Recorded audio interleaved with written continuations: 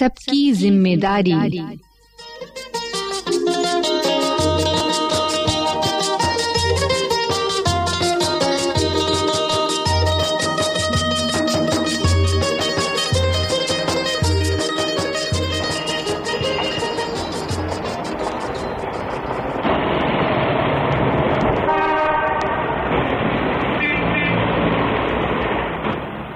महानगर की एक सड़क पर अखबार का एक पत्रकार लोगों से बातचीत कर रहा है।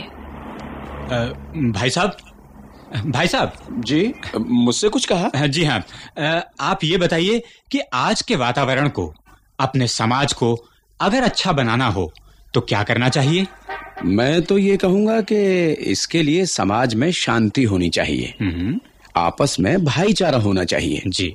लोगों में ईमानदारी होनी चाहिए। पर अफसोस के साथ कहना पड़ रहा है कि आज के समाज में ये सब बहुत ही कम रह गया है। मैं तो कहूँगा सब खत्म हो गया है। अ, नहीं ऐसा तो नहीं है कि ये सब खत्म हो गया है। अ, क्यों बहन जी? आप क्या कहती हैं? अरे कौन से जमाने की बात कर रहे हैं आप भी? आजकल कुछ ठीक भी है क्या? आप छोड़िए भी। हमें क्या करना है इन बेकार की बातों में पड़कर हम तो चलते हैं।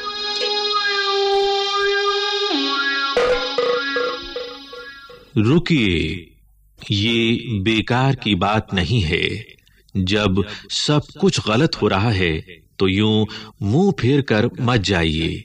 आगे बढ़िए।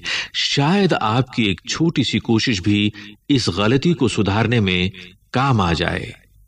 ये समाज सबका है। इसे बेहतर बनाने की ज़िम्मेदारी भी सबकी ही है।